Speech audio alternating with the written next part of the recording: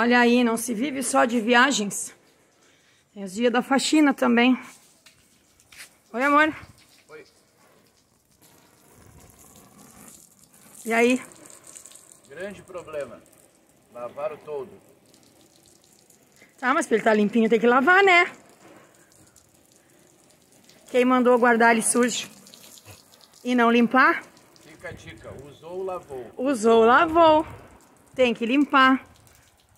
Olha aí. Ainda falta limpar a parte interna, que tá pior. Olha aí. Vou botar na garantia da fábrica de todo. É, fala sério. Tem que dar lavagem. Lavagem na parte interna. Olha aí. Tá bem sujinho. Cheio de folhinha. E agora vamos pra limpeza. Você acha que é fácil ficar lavando isso aqui, ó? Aqui, ó.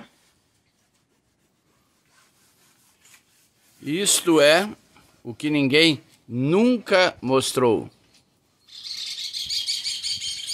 O trabalho árduo, difícil de limpar um todo É chato, agora tem que limpar aqui, ó. externamente. E internamente. Tudo isso para economizar, para poder desfrutar de um churrasco e de um choppzinho. Ah, não tem quem faça isso aqui. Quem é que vai pagar pra fazer isso? Na lavagem eles não fazem isso, só lava carro por fora e igual a cara deles ainda. Iriam cobrar no mínimo 200 reais Ah. para lavar um todo deste. Ah, não, mas 200 reais eu faço então, vai sobrar bastante pra carne e chopinho. Qual receita?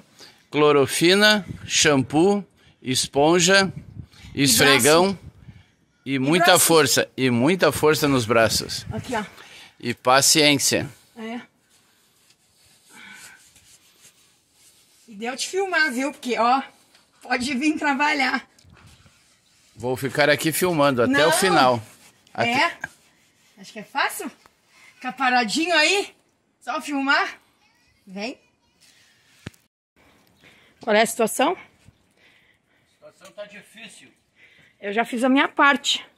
Lavei todinho ele na esponja, A situação tá difícil de aguentar esse transtorno. tá? Vai.